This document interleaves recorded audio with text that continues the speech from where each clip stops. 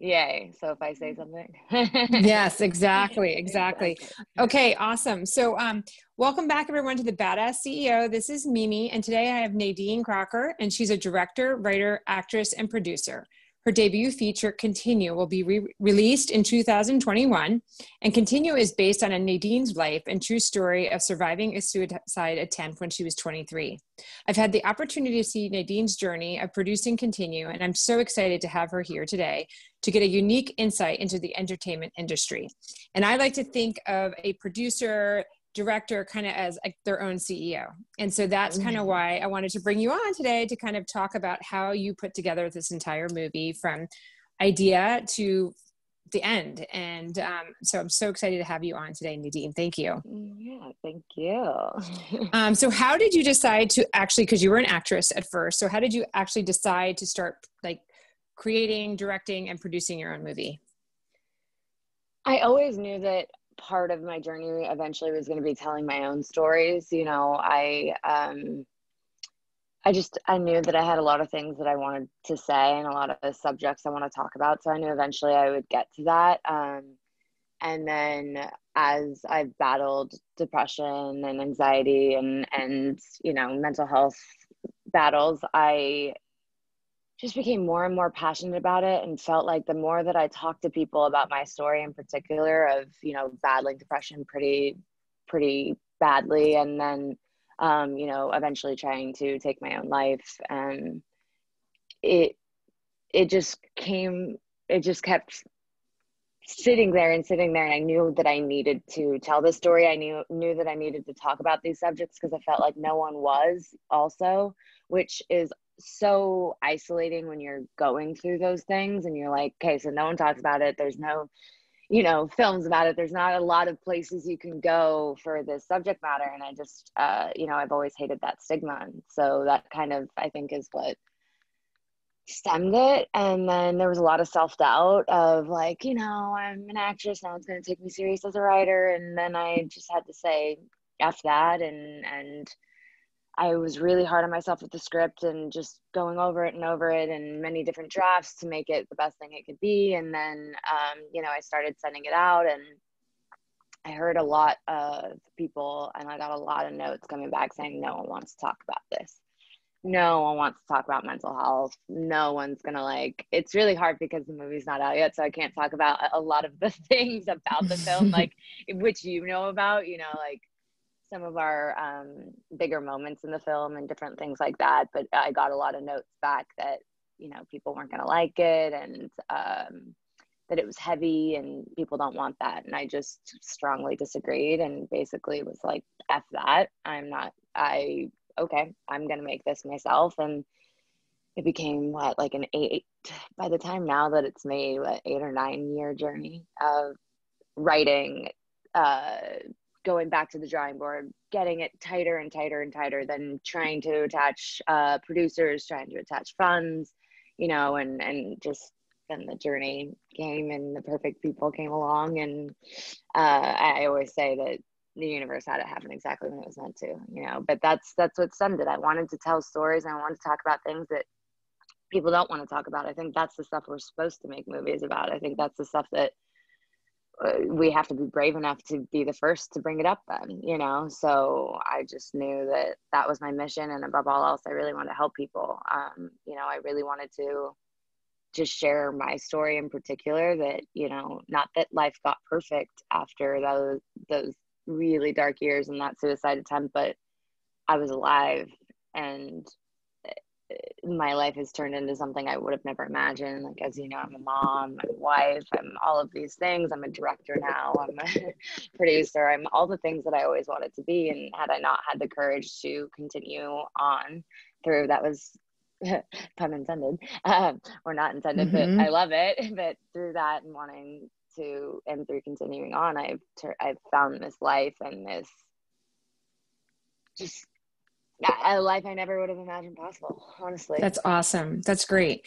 So it sounds like it was much harder than you would typically have thought just because of the subject matter. So you think it was of a different subject matter. If it was a romantic comedy and you wrote a rom- romantic comedy, it would have been an easier sell per se?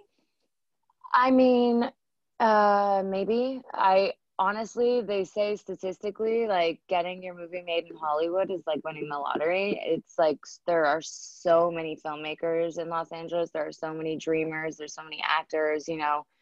So it's a really hard process. They say if you get your mm-hmm. film made, period, like you've done something that so many filmmakers might not get the opportunity to do. So it's already a really hard thing to mm-hmm. have this idea and give people this idea on paper and then for them to see the vision that you see in your head because it's like you can't translate all of that to this page to these this paper. And then on top of that everyone's so crazy about page count. And so you can't be overly descriptive. You can't be you know it's just like mm-hmm. this weird world that you live in. And so it's a hard process period. But the subject matter is definitely what made it harder for me harder. i'd say. I'm saying it like and and also i um my name didn't mean anything. You know, I'm I've been acting and I've been uh, working as an actor and and and able to not always but pay my bills primarily now through creative endeavors. But um, so that's the other thing about this town is a lot of times they want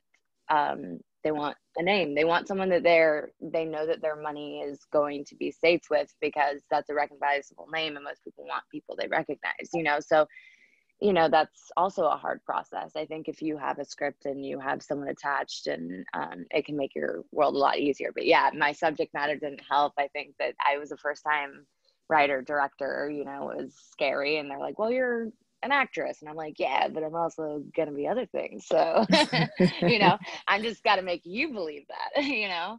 Right. Now so now that the whole process is pretty much complete what would you say the hardest part was looking back um, I would definitely still say per.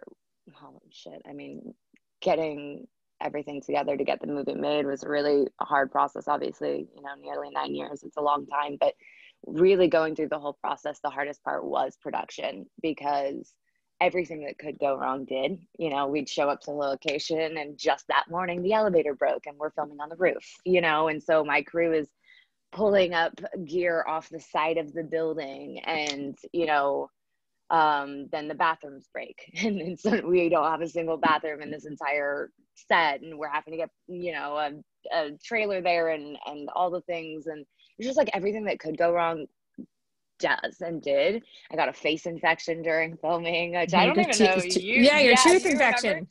yeah, yes. my tooth infection, which then spread to my face, and I'm on camera. But by the pure graces of God, a permit fell through, so we had to move our Thursday filming to a Saturday. And uh, when I woke up that Thursday morning, I had to go to an emergency dentist because my face had like swollen. So it's like one of those things where I also say like I think that could go wrong did, but God was like, I'm gonna throw you a bone, or it always worked out to be like a hundred times better than the location that fell through, or just whatever. Like you know, it was supposed to cost us a, a lot of money to go to San Francisco and to film all of that stuff, and then we find this epic location with the most beautiful view of the of the bridge and they let us have that just to rent a room because of the subject matter and because I basically went that, down there. I'm very tenacious and I'm very passionate. And I was just like, listen, I need you. And and they ended up working with us. And so things always came through, but it was also like for me, like a very Scorpio control, like just want, you know, this is my baby. So like it was really hard being so out of control and just having to have pure faith. I'm like, okay, all gonna work out. It's gonna happen.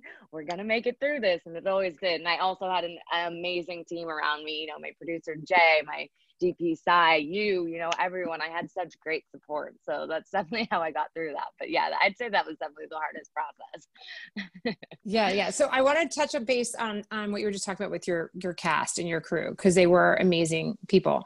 And yeah. so you kind of put together a, a mini company in a sense, like that you know that lasted for a year and that's how i like to look at movies kind of is like you put together these companies that only last for a year or two years or six months however long the whole process yeah. is and then it's gone right so um, how did you quote unquote hire how did you find these people and what was like the common you know because i know you met a lot of people and a you kind of, of people. so what was that common link or what were you looking for what were the attributes you were looking for in those people um honestly it was just like all gut and heart and i'm a very like emotional empathetic like i and i'm very hard on my sleeve so it was just kind of like if i just didn't beat around the bush i'm like hey this is my baby this is my story like and how they would um receive it and how it affected them often was what made me go yes or I'm not sure. Maybe you're great, but just this not this one because I knew it was going to be a strenuous uh, project. I knew it. We did. We had a very limited funds for such an ambitious script, and we had very limited days for such an ambitious script. So um, I knew that I needed people whose heart was going to be fully in this. And it just so happened um, that almost every person from the crew, from my producers, from everyone, I have chills right now, um, had a connection to suicide and had a strong connection to mental health, but, uh, pr- but primarily a big connection with suicide. So it was almost as if these people found me and just I'd be sitting across from them and I'd be like, you're my person. Like i just know it. And and it so it all yeah so it all it all kind of came together in that way and just like really going from my heart and and also being very very picky in the first place to who i'd sit down with and um the photos they'd bring you know for what they envisioned or different things. Because i'm very collaborative collaborative as a filmmaker and as an actor and you know I um I love um I love hearing other people's vision and I and I love I wanted to make sure that anyone that I brought on I had utter and the utmost trust like okay I'm not going to be able to micromanage every human being. I need creatives that I can fully trust in this process because I'm wearing 900 hats which was a very hard thing to do with such an emotional piece you know? I'm I'm led in it directed it produced it I mean, you name it. I probably was craft service a day, like you name it. I just, I, I, I wore a million hats. So I knew I needed a bunch of badasses basically around me. you know, I thought was amazing with, I mean, you did have a lot, unbelievable amount of love and everyone was there definitely mm. for a common good, right? I feel like, and um, you didn't really touch on this, but I, I want to highlight it that you got a lot of people to um, work for less and you had a lot of people that you know even gave you less pricing for you know renting cars or renting locations yeah. and and i think that, that speaks to you obviously and your passion but also to the the, the subject matter right because mm-hmm. mental health has been such a huge um, I think it's finally coming to the forefront of the conversation. And I think it still needs to come to the forefront of the conversation, especially in light of COVID. I mean, that has not even ever been addressed yet right now. And I think it's going to continue to completely devastate um, our younger generations too. You know, like just seeing these kids sitting in front of a computer all day long doing schoolwork. I mean, there's got to be some psychological effects to that yeah. that we haven't even seen yet. But going back to the continue movie, I just feel like I would love for you to just kind of touch on that, like how you were able to. Um, because I think other CEOs, no matter what their cause is, be like be creative right? And and take yeah. bootstrap what you have if that's your passion and don't say no and just figure out ways if it's bartering if it's using so can you just speak to that a little bit? Yeah um i mean i touched on a little bit like i'm extremely tenacious and i don't take no easily and i i just don't give up. It's just been my nature and since i was young i'm stubborn. Um so you know I I just wasn't afraid to ask. I wasn't afraid to tell people. I have, you know, ten dollars in two days, basically, like not enough money and not enough days.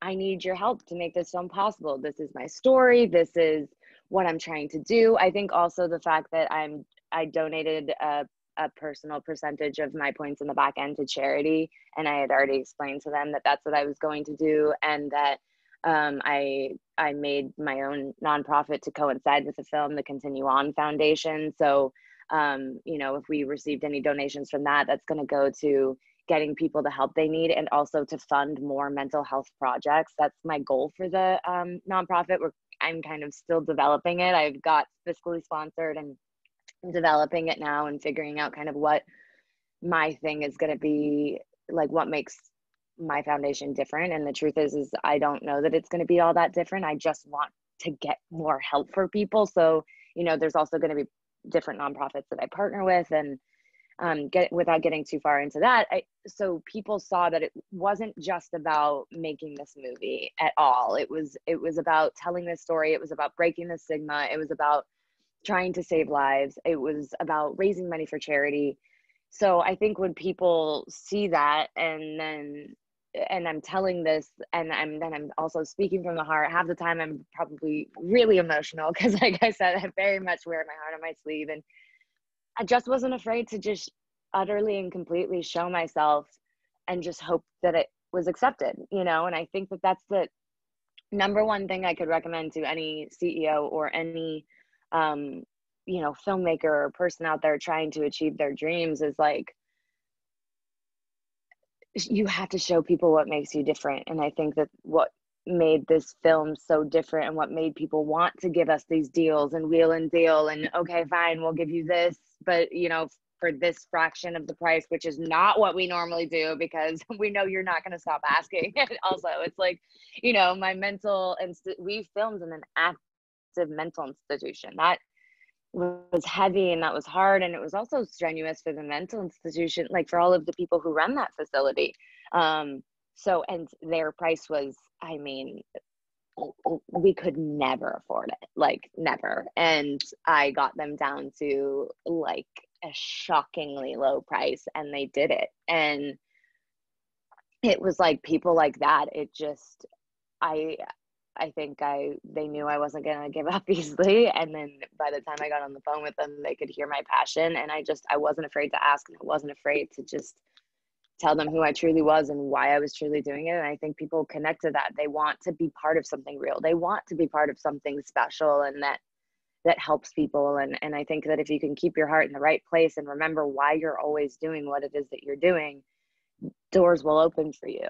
You know, I every time before I would go into a scene or anything that I would do, I would say a prayer basically for the person who's in pain that whatever my performance was supposed to be for them. And I did that with everything before I went in there. Like, you know, I, I just try to constantly keep my mind on the mission rather than all the other shit because all the other stuff just gets heavy and it, new things come up, you know.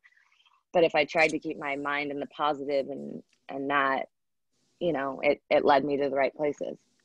That's great. That's great. You definitely touched on this, but if someone were going to pick up, move across country, and go to Hollywood to try to make it, if it's acting, writing, producing, directing, what suggestion, knowing what you know about the industry and how it's changing so much, um, what would you suggest for them? I mean, you definitely already had the contacts because of your acting, but you also had to start somewhere. So, what would you suggest somebody who's starting from scratch? What should they do? Well, I mean, the first thing I'll say is we all start from scratch. So, like, you're no different than anyone else. And I dropped out of high school when I was 16 and I moved to LA on my own. And I was 16, 17. I officially was fully living here by 17. I mean, in LA by 17. And, um, and worked three jobs and you know i didn't come from we were always very modest upbringing. So it was like i had to if i wanted to stay down there i had to figure out a way. And and it's not easy. And what i would say is like first know that your heart won't be happy unless this is what you're doing. And if you know that your heart will not be happy doing anything else then you have to come. There's no other choice. And when you get here don't give up. That's all I can truly, truly say. It's taken me, I mean, what, six, 15, 16 years. I'm about to turn 32 and I have, I, it's taken this long. But the difference between me and maybe other people who exist out there is that I wasn't willing to give up. I wasn't willing to go home. People have asked me, when when is it time that you finally go, okay, I'm tired of working three jobs and living down there and and feeling this pain every time it's a lot of rejection which is why it can be really hard on your heart you know and your mental state and you know kind of having that feeling of not being enough. And and the industry will always tell you you're not enough not pretty enough too pretty this that you know? And the truth is is you just have to know inside your heart like that this is what you're meant to be doing. And for me, I knew that no matter what, even if I didn't make it as an actor to this place that we all hope we're going to get to, I would always be an actor. I would be doing some profession, but I would always be acting, doing theater, doing something. I knew I couldn't live without it. So for me, there was no, I'll go home at 10 years, I'll go home at whatever years. And thank God there wasn't because 16 years later, I'm finally getting the opportunities I've dreamt of doing since I was a 16 year old kid, you know? So, I mean, my number one is like, don't go home. You have no other choice. Like, you have to stay here and you have to fight it out. And eventually, you know, that's what they say, right? Uh, in a 10 year span, at some point everyone will get the same opportunity you know you'll finally find yourself in the same rooms if you if you stay long enough I, I totally slaughtered that quote but you know it's basically just saying if you'll you'll end up at least getting some of the opportunities other people do if you stay long enough if you mm-hmm. don't give up and is it about networking like you show up and then you just kind of try to network to find an agent to then get you in the door is that like yeah like reps i'll, I'll say reps are are really um you need auditions. So whatever mm-hmm. gets you auditions because you are going to go to thousands of auditions and you're going to book about 10 of them. You know, it's like you look at my my resume, I've auditioned for some of the biggest movies and shows that have existed that I still like am like, "Oh god, that would have been so good." You know? right, like, right. You can see yourself there. Yeah, where I'm like, "Oh, I still remember I still know the lines that she's saying it on the thing." Like, "Oh god, I remember this one," you know, and you'll go through thousands of them and you'll get 14 or 15 you know and and that's the point you need auditions. So yeah reps are always my networking yes rep but reps and class and studying. Um i think that the thing that really sets you apart as an actor if you're a serious actor is um you're never not acting. I was always in class even when i couldn't afford it. I'd i'd get that over like food. I'd live on top of ramen so that i could be in class and constantly learning. And even now, I'm never not learning. I'm never not in class or getting coaching. I mean, you met my acting coach. My coach was with me every day on set. It doesn't matter where you go. It's for me. I'll always want to be better. I'll I'll I'll never stop trying to learn to get to that next level, that next level, um, with my art because it's what I want to do for the rest of my life. So, I think yes, networking, finding reps, but also if you're so good and you are so committed to your work, eventually someone is going to see that, you know? And I think, yes, find reps because you need auditions and then study and study and and get your 10,000 hours, you know? Uh, mm-hmm. They say, yeah, 10,000 to become a master at something, get those, you know? Mm-hmm. It, because that's what will also set you aside. There's a lot of people in this town, and I don't like to talk, you know, badly about anyone in the business we're all you know we're all struggling we're all trying to make it at this thing but there's a lot there's a difference between a lot of um, creatives or you know ceos even where they call themselves a an actor or an entrepreneur or whatever and they're out networking every night drinking and doing the thing and doing the dance. But even when they get those opportunities if you're not in class and you're not working your ass off like you know what i mean? There's a the product will always show the skill will always show. Like if you are putting those hours in and you are making yourself the best you can possibly be, it's going to show, you know? So, mm-hmm. so yeah, get auditions, do all of that, but just work on your craft so much that people can't say no eventually. That's what I was always trying to get to. I want to be so good that they can't say no, even if I'm not the name they need for the, selling the film. Like I want to be so good that they're like, I can't. I she has to get it, you know. And I'm still working every day to try and to to get better and better and better. That's great advice. So, do you see yourself going on to be concentrating more on acting, producing, writing, directing? Like, where all all of it? That's the that's the question of everyone right now. I've just received three offers for films to direct to direct. So, oh really? Uh, Congratulations! Yeah, That's exciting yeah, I just got uh, several offers that came through for um, new films to direct. I just finished my next script that I plan to direct that I wrote, um, which is about the first year of parenthood and um, how hard and beautiful and life changing it all is. Um, but for that process, I'm going to have another child and go on that journey over a year progression. So I'm kind of trying to put my own script off for another couple of years. Yeah, so yeah. I'm now really reading other people's material, and and I have some other written ones um, as well. So I'm just deciding really what the next move is. But um, it's funny, acting will always be my heart, and I'm actually and I'm mid talking about some other acting projects right now too. So we'll see what happens with those. They're but they're very exciting and I'm trying not to like I'm trying to just be like, okay, we'll see what the universe brings to me. But um yeah, I acting will always be my passion. It's it's what I love, but I, I really found like I found my purpose through directing. Um and that's why I'm very, very picky about what I'll direct, not in the sense of just because like I think I'm you know, fancy and oh, I have to be picky. No, it's that I I really won't tell a story unless my 100% heart and passion is in it because I know that that's half of why the film continue came together in pure magic is because when your heart is so fully involved in that people want to give you their heart too so my heart has to fully be in a project for me to give a year of my life because directing is a year acting is a month or two sometimes six months you know you never know how long or big the project is but directing is a year or or more of your life. So my heart has to be in it but uh, also i'm very very particular about the film has to have a message. Why am i telling it? And so i'm in this process of like knowing that those are the few things that um that i need to have to fuel me. So i'm just i'm really reading and taking my time right now but i do think that directing is going to be where my my heart kind of takes off and writing. I mean, I love I love telling stories. I love there's just too many stories to tell. We all go through so much bullshit as human beings and we have so much, you know, so many experiences and so much trauma and so many there's just so much shit that we all got to start talking about and I feel like that's why we need to make movies to to say something. Otherwise, sometimes they're to entertain, but even a romantic comedy can have a message, you know.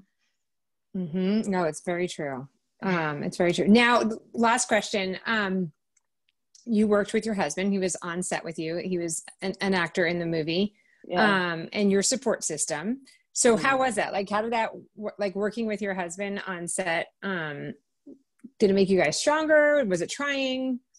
Um, he's my biggest fan and he is my biggest supporter. I can say that with the utmost like I love him and he loves me dearly. I couldn't do any of it without his support. He gets more excited than me sometimes at the things that are happening, you know, like where I'm like trying to stay calm and he's like, no, like you can't stay calm, you know, he's just like, he's my cheerleader and he's the best. Um, uh, and so all during continue, I just think the overwhelming pride like he had just like it trumped everything, even the struggles, because it was, I'm sure, really hard. I mean, his wife, who is normally his everyday companion, his best friend, we do everything together, was just like absent. You know, I would make it home in time to put my son to sleep uh, at, at least a couple nights a week, but I was gone before they woke up, and I was gone by the time they went to sleep most days because pre-production and production and our production hours were so crazy so it was definitely hard and i think it was hard for him because continue is such a beautiful love story so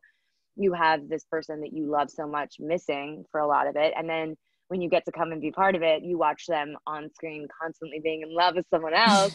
And so i'm i i saw it every once in a while like i just missed my wife. And i'm like i'm here. I love you. You know so it was it was definitely hard but but our hardest thing of all of it was me directing him as him him an actor and me director mm. because he'd get frustrated or um, yeah frustrated is the main way i can describe it or frustrated with himself. And and let's be honest who do you as a human take things out on uh, when you're frustrated? Your spouse mm-hmm. your closest person. Like i am so guilty of that.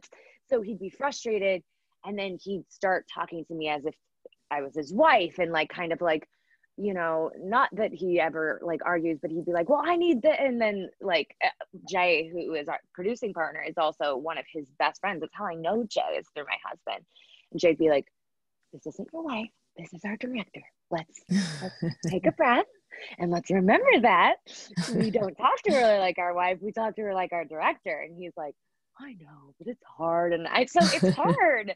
It's hard, it's hard. to, because like you know you're used to being able to like fight you know butt heads with your your spouse like we all do. And and but i couldn't be the supporting wife. I had to be that i don't give a shit. You have had this many takes. I have no time. I have seven scenes to go. Do it. Get, you know? get it together. Yeah. And i remember sitting next to him. I remember sitting next to him during the screening.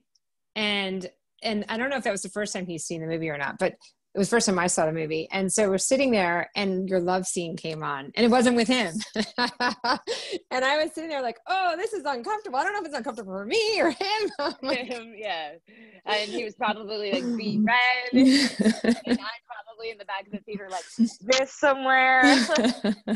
yeah. So that was that I, was interesting. I'm like, I've never been in a situation like this where I'm actually watching the movie with the two spouses in the same room um yeah no i think that is, that's always definitely um it's always a definitely one where i see his face get a little bit red because it's also like not just that it's me with someone else but it's also like his wife like and yeah. everyone's looking at his wife you know and yeah and luckily because he thinks it's so beautifully shot like he's still very supportive of it because he's like, well, it's just so beautiful and silhouetted, and you look so stunning, and so like he gets past that because the filmmaker in him is like, it's just so well done that I can't even like be upset about it, you know? so, oh, that's awesome. No, he's such a great such a guy. He's yeah, and he's good.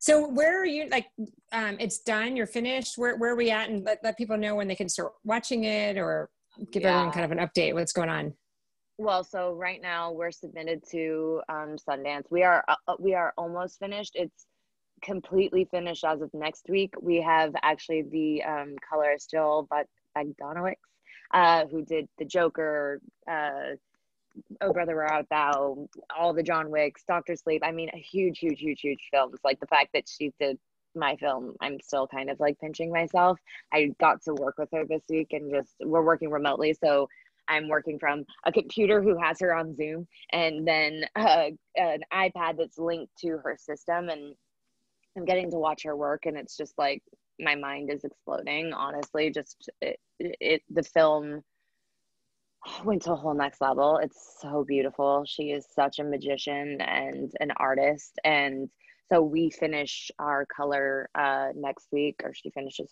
the color next week.